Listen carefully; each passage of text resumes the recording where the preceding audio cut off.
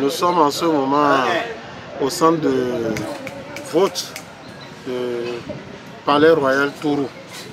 Et en ce moment, comme vous le constatez avec moi, il y a une mobilisation très satisfaisante. Les populations sont sorties facilement, malgré la peur et tout ça.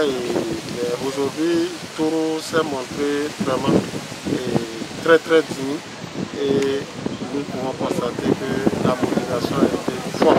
Les gens sont sortis, ils ne se sont pas laissés intimider parce que l'enjeu est grand et ils l'ont montré. Et aujourd'hui, je crois que tous ceux qui sont passés ici ce matin ont voté tranquillement. Tout s'est passé dans la paix, dans la discipline et dans la concorde.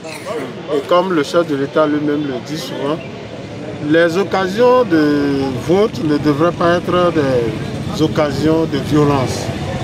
Ça devrait être plutôt des occasions de convivialité, de fête, de retrouvailles.